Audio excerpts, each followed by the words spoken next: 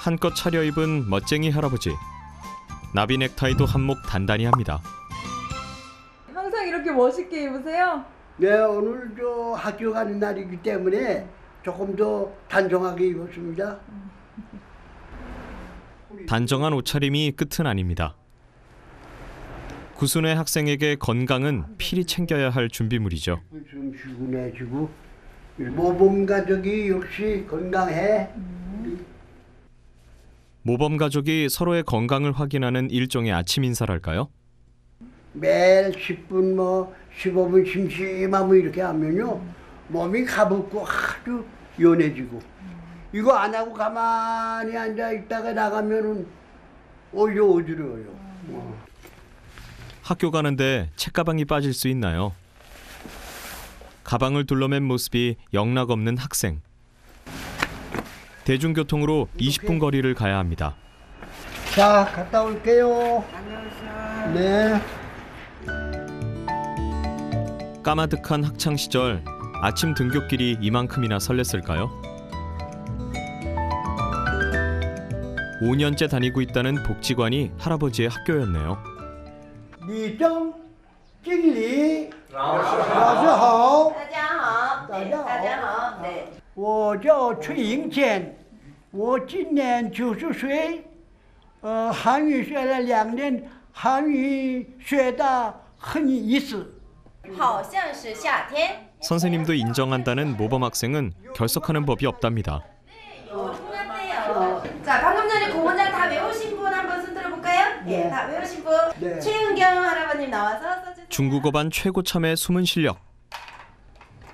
한 수 보여주실 모양인데요.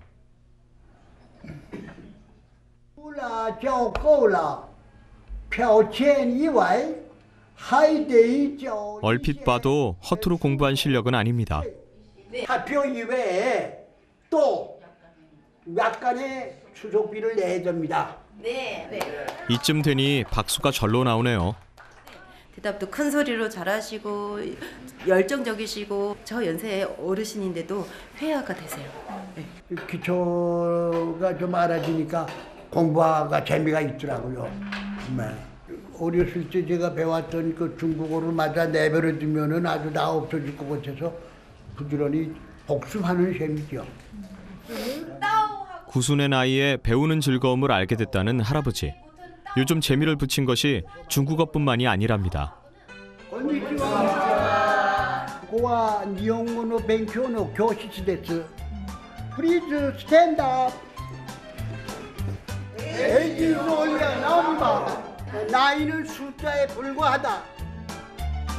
할아버지의 일주일 수업 시간표는 한문 수업을 시작으로 영어, 일어, 중국어까지 꽉 채워져 있습니다. 선생님과 가장 가까운 자리가 할아버지의 지정석.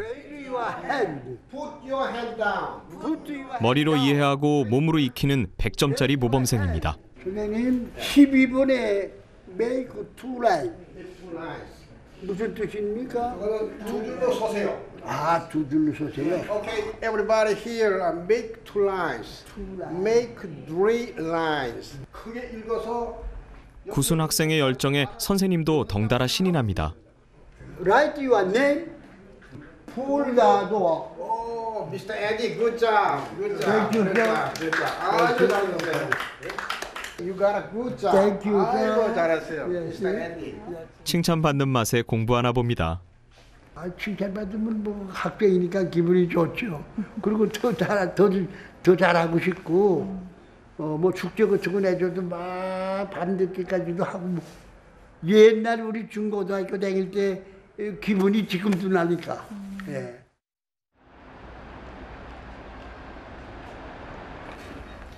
왔습니다. 왔습니다. 공부하고 왔습니다. 도착하자마자 가방만 겨우 내려놓고 신문과 씨름 중인 할아버지. 뭔가를 찾으시는 듯 싶더니 공들여 오려낸 것은 생활 외국어 코너. 영어, 일어, 중국어, 한문을 한데 모아 그날의 교재를 만드신다네요. 집에서 우선 하는 건 이거요. 우선 이거부터 정리해 놓고 저기요. 어, 어, 내일 공항까지 예, 차좀 태워줄 수 어, 있어? 술을 빼고. 마시고 하시오. 너무 고맙습니다. 목마르다. 고맙습니다. 이거. 좋아서 하는 일이니 그저 응원할 뿐이지만 때로는 유별나다는 생각도 드는 할머니. 할머니는 할아버지랑 같이 공부 안 해요? 아이고 못해. 돈 줘가면서 하래도 못한다니까. 팻다운 손 들어 말하자면 양손 드세요. 그래가지고 주머니 검사하는 거 이거 그렇게 설명되어 있네. 의미한다. 그 배움에는 끝이 없고 왕도도 없다는 것이 할아버지의 평생 지론. 2004년도부터 했어요. 아니, 그때부터 지금까지 계속 하신 거예요? 왜 하루도 빠지지 않았어요. 내가 완전히 알고 있는 단어가 나오면은 확실히 알고 또 내가 뭐 야, 이거 처음 보는 단어다. 그렇게 되면 이제 이제 그도 치우면서도 그 항상 생각하려고 노력하고. 구순의 나이에 스스로 찾은 배움의 즐거움. 새로운 경험이 가져다주는 활력이 할아버지의 일상에 열정이라는 불씨를 심었습니다. 일과 작업, 뭐 사물에 대한 호기심, 또 흥미는 에, 정서 상태를 비롯한 뇌 건강에 도움이 됩니다. 이렇게 스스로 즐거워서 하는 이러한 모든 활동들은 면역 기능 그리고 자율신경계를 강화시키는 역할을 할 것입니다.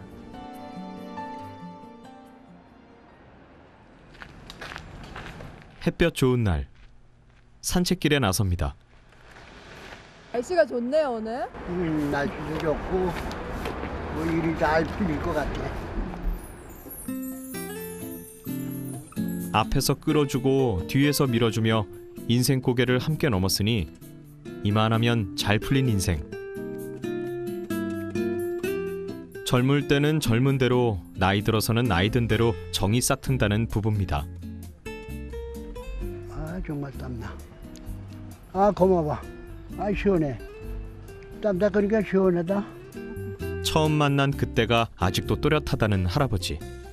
처음 봤을 때 아주 눈이 반짝반짝하고 전체적으로도 물론 예쁘지만 그거보다도 눈이 살아있어서 야, 이 처녀라면 되겠다. 일생을 같이 할 수 있다. 근데 그것이 지금까지 맞아 들어갔어요. 네. 스무 살 처녀와 스물여섯 총각이 만나 오남매를 낳고 함께 보낸 64년. 세월이 흘렀지만 처음 약속을 기억합니다. 주례가 선서를 시키지 않아요. 그때 선서했어. 둘이는 한 몸이 되어가지고 검은 머리가 파뿌리 되도록 그 소리가 그렇게 지금까지 와 닿았어. 파뿌리가 됐거든. 이해하고 서로 사랑하고 살아야 된다. 자, 얼마나 좋아. 초등학교 학생으로 돌아가셨구만.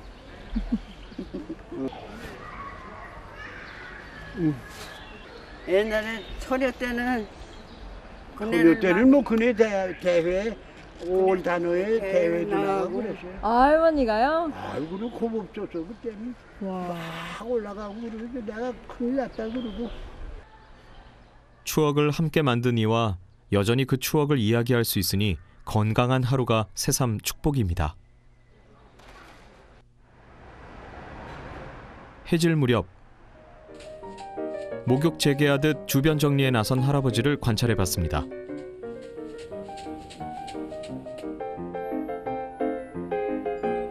컴퓨터 앞에 앉아서 독수리 타법으로 무언가를 열심히 하시는데요. 배우고 싶은 게 있으신 걸까요?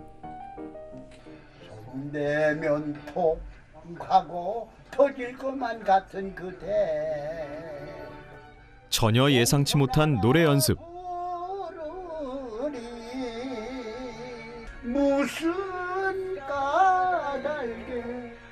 벌써 40분째 노래 산매경에 빠진 할아버지.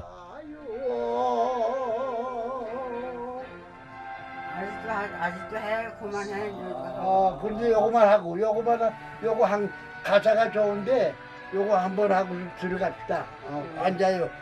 한 곡만 들, 부르고 들어가자고. 내 곁에 있어줘요. 웃었다, 웃었다, 오래간만에. 없는 사랑이란 있을 수 없잖아요. 예. 한참 신나면 뭐 이 세상 다 무섭지 않고 그날 저녁은 화나고 정신적인 면과 에, 취미를 살리니까 외로운 거나 뭐 어, 근심 걱정 같은 것도 일시에 스트레스를 해소해 버려요. 할아버지의 노래는 밤늦도록 계속됐습니다. 꽃들이 만개한 아침. 오늘 유난히 꽃단장을 하시는 할머니. 나란히 외출하시는 데는 그만한 이유가 있는데요. 오늘 내가 부른 노래를 부른다고 해서 우리 집 사람이 구경 가- 같이 구경한다고 같이 가는 길입니다. 얼마나 잘하나 보려고. 여기 최은겸이 있어요. 오늘 부를 노래는 님과 함께입니다. 객석은 이미 만석, 열기가 뜨거운데요. 90살입니다. 그러니 유별남의 그 소리도 잘하시고 보이지 않는 가수입니다. 연세에 비해서 그 최은경 씨를 이 자리에 모시겠습니다. 감사합니다. 박수 갈채 속에 무대로 입장하는 할아버지. 나비 넥타이로 힘을 준 모습이 영락 없는 무대 체질입니다. 자, 이제 실력 발휘 좀 해볼까요?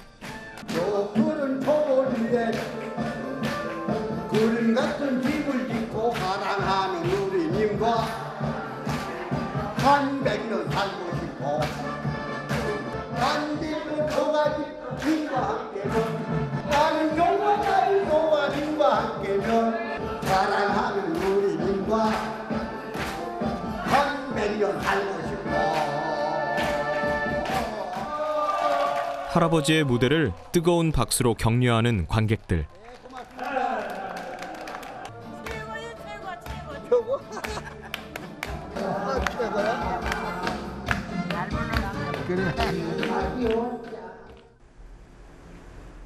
이른 저녁 식사 준비에 나선 할머니. 오늘의 저녁 메뉴는 할머니표 김치찌개입니다. 반찬을 해주면 주는 대로 잘 먹는다고. 반찬 타박 없는 남편 덕에 마음 놓고 솜씨를 부립니다. 할아버지의 간보기로 마무리하고요. 응, 고소해. 고소해. 간 맞아? 나 맞아. 합격점을 받은 오늘의 밥상. 소박하지만 할머니의 손맛이 담긴 반찬들입니다. 맛있는 음식 앞에서 긴 말이 필요 있나요? 표정에서도 느껴집니다. 얼굴을 마주하고 평생 숟가락을 함께 뜨는 친구가 있으니 부러울 것이 없습니다.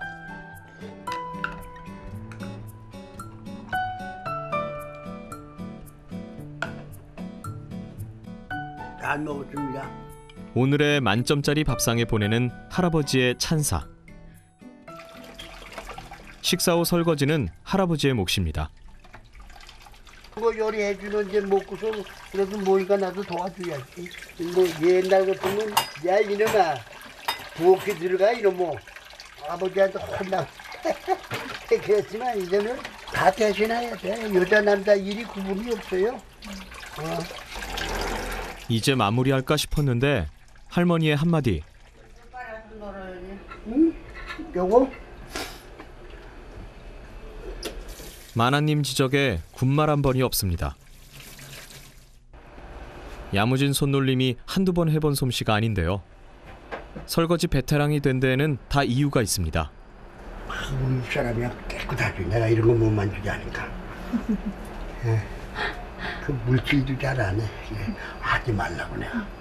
남자들 손은 투박해도 괜찮지만 여자들 손은 될수 있으면 예뻐야 되니까. 그 마음을 알기에 과일 대접이 이어집니다. 아유, 수고했어요.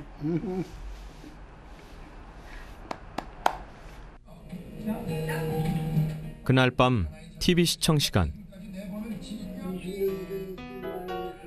할머니에게 내용을 일러주는 모습이 다정해 보입니다. 잠시 후 TV를 보면서 뭔가를 적기 시작하는 할아버지. 공부라도 하는 듯 자세는 요지부동. 받아쓰기 시험이라도 치는 걸까요? 내리는 양은 5mm 미만 일기예보를 시청 중인 할아버지. 정보를 참고하시는 게 좋겠습니다. 내일 날씨를 꼼꼼히 기록했네요. 모든 그 사건이나 그 일이 벌어진 것을 그냥 듣고선 버리긴 아까워요. 아, 요거 좀 더 생각해 봐야 되겠다.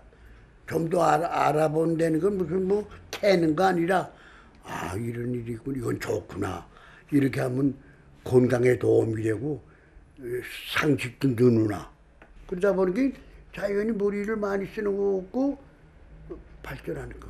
내 나이에 비해서 그렇게 기억력이 나빠지지 않는 것 같아요. 예. TV를 보면서도 관심 있는 소식은 메모하는 게 습관이랍니다. 이 습관에 살을 붙여 매일 빼놓지 않는 일이 한 가지 더 있다는데요. 바로 일기 쓰기입니다. 30년 넘게 하루도 거르지 않고 일기를 쓰고 있다는 할아버지. 할아버지에게 일기란 단순히 기록을 뜻하는 것만은 아닙니다. 일기를 쓰다 보면 자연히 그날 하루에 있었던 모든 일을 반추하게 되니까요. 내가 살아온 길을 매일매일 적어요. 자국에서부터 쭉 잘 때까지 있었던 일을 그대로 기억해 두면은 실수했는데 내일은 더 잘해야 되고 아무개하고 내가 언쟁을 했는데 말다툼을 했는데 내가 좀 잘못했구나 이런 걸 다 있으면 자꾸 발전해 가요. 반성하게 되고 자신의 일과를 반성하는 계기가 돼 주었다는 일기장. 이걸 다 내가 쓴 일기책이요. 예. 수십 권의 일기장으로만 채워진 그야말로 일기 책장입니다. 85년부터 빠짐없이 지켜냈으니 이만하면 보물로 여길만 하죠.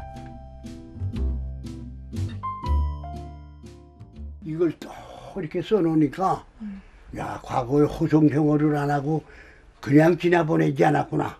학교 가면 뭐 세계도 역사, 국내 역사 뭐 하지만 외국 역사 배우지만 이거는 우리 개인 집안의 역사. 오늘도 할아버지의 역사가 새겨집니다. 한가로운 주말 아 왔구만 그. 반가운 얼굴들이 찾아왔습니다. 잘 키운 자식들이 할아버지의 훈장. 어 둘째 아들 둘째 최봉구 개인 택시라 그랬어요.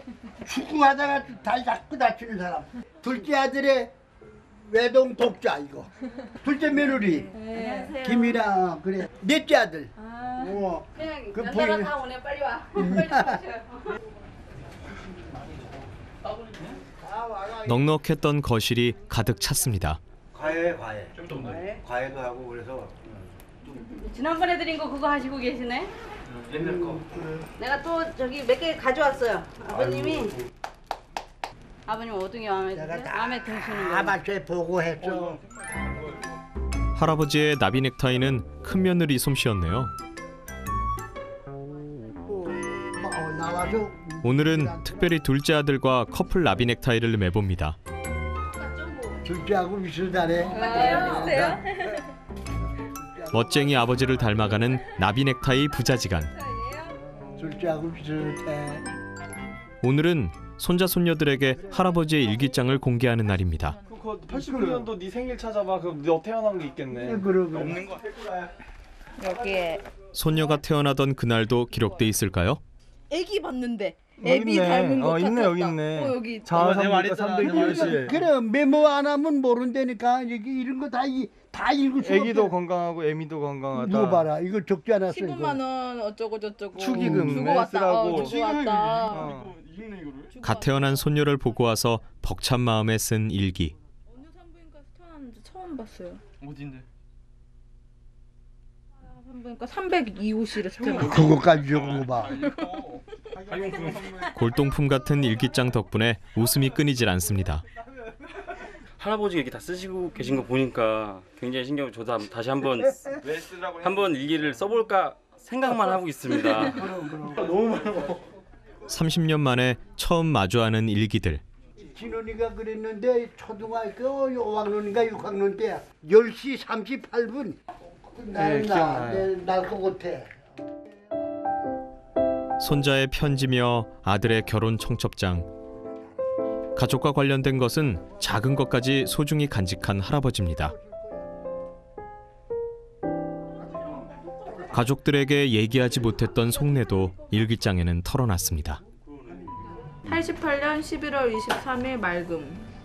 건우 승국이 오후에 와서 짐 결혼 선물 옷까지 물건 갖고 성남 집으로 떠났는데 막상 떠나고 보니 섭섭하기도 하다. 며느리를 맞는 것이 아니다. 아들을 보내는 격이 됐다. 오남 네. 매 키워 모두 내보냈으니 섭섭하기도 하고 시원하기도 하다. 입 창피하다 아버지는 저기 저 제가 결혼했을 때 섭섭하셨어요? 결혼하고서 결국엔 또 둘이 성남으로 이사 가지 않았어 이제 갔죠. 그런 마음에 허전하더라고 같이 모시고 살았으면 이제 그렇죠. 그 음, 이제 그 아, 아버지는 직접 생각을 하면서 기록을 하니까 기억력이 오래가고 우리는 그냥 빨리 잊어먹고 너희들도 전부 될 수만 있으면은 오늘 산 것을 메모라도 몇 자라도 남겨놓으면 큰 반성이 됐네. 이제 보니까 내가 보람이 있네. 앞으로 내가 계속해서 듣을 거야. 크고 작은 메모부터 매일 쓰는 일기까지 꾸준히 기록하는 습관이 할아버지의 건강과 가족의 역사를 지켜온 힘이었습니다. 뭘 기록한다는 것은 생각을 정리해서 쓴다는 건데 이때는 뇌를 자극해서 어, 지적 능력의 퇴화를 막습니다. 오히려 증진시키는 효과가 있다고 봅니다. 글을 쓰는 순간에 생각이 정리되고 어, 따라서 어, 명상, 집중의 효과가 나타나서 이완되는 그러한 아주 좋은 경험도 하게 될 것입니다. 영원히 영원히 행복하게 살고 싶소 나는 내일이 기대가 돼요 가고 오늘은 재미난 일이나 좋은 일이 또 있을 거라 매일매일 행복하게 살고 있습니다.